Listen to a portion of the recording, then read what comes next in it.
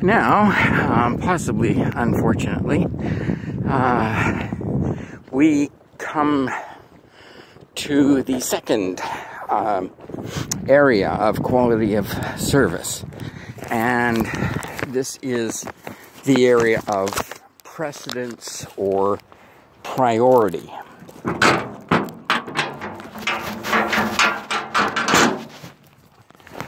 The um,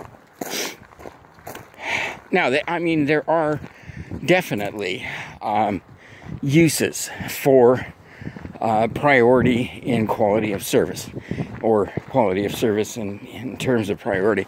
Um, if we uh, have requirements for important traffic, um, for uh, sensitive information or, or services, resources that must be available, and availability is, is part of what we're doing here, uh, then yes, uh, we need to be able to set up uh, some kind of uh, quality of uh, service, um, management of the totality of network traffic, such that the priority is given to the most important uh, resources, functions, or information.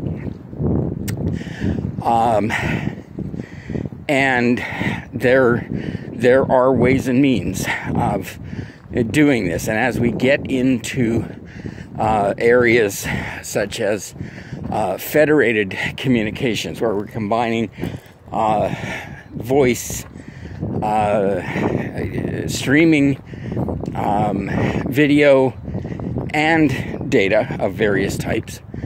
Uh, we uh, have systems such as uh, ATM um, to uh, ensure that we can, uh, as well, not maybe guarantee because there's never any guarantees, but um, that uh, we are making sure as as sure as we can uh, that the important stuff gets through. Unfortunately, um, while quality of assurance, quality of service has this um, proper function, uh, the technology and even the terminology um, has been turned to marketing purposes. And so we get um, uh, differentiated service, which is appropriate given different types of uh, traffic and um, different levels of importance.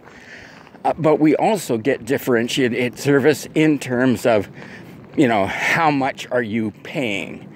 Uh, how um, important are you to the communications provider?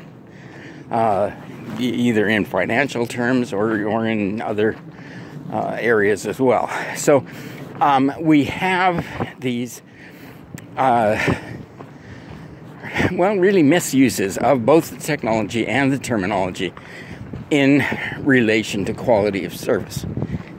Um, we,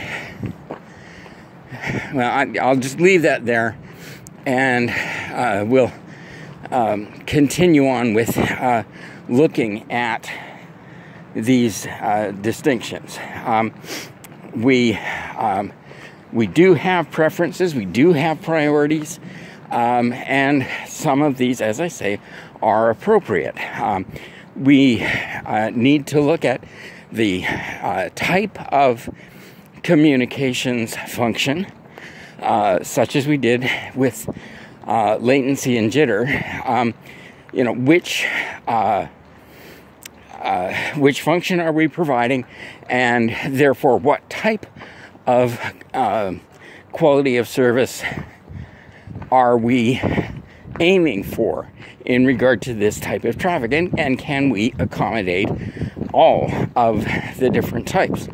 Um, again, by federating our communications.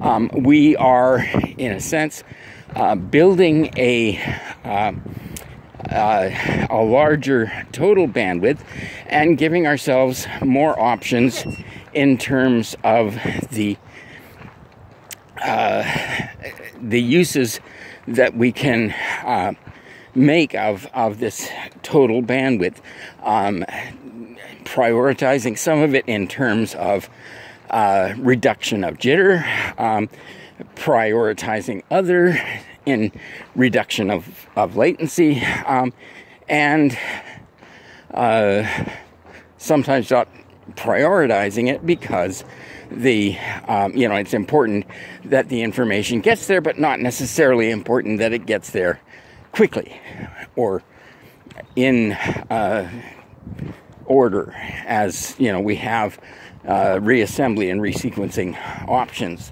that we can use. Um, so we're you know we're looking at that.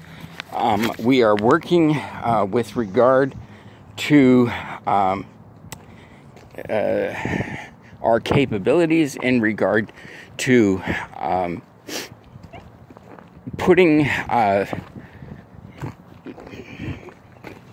different uh, uh, technologies in place to to reduce delays, to to make delays consistent, um, in order to uh, best address what we are trying to do with this communications function.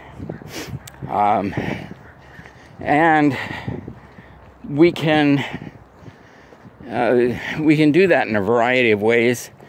Um, we'll you know we'll talk about uh, dedicated bandwidth. Um, we're uh, you know talking about uh, things like best effort services and, and differentiated services, and, and we'll get into that um, in the next uh, uh, clip.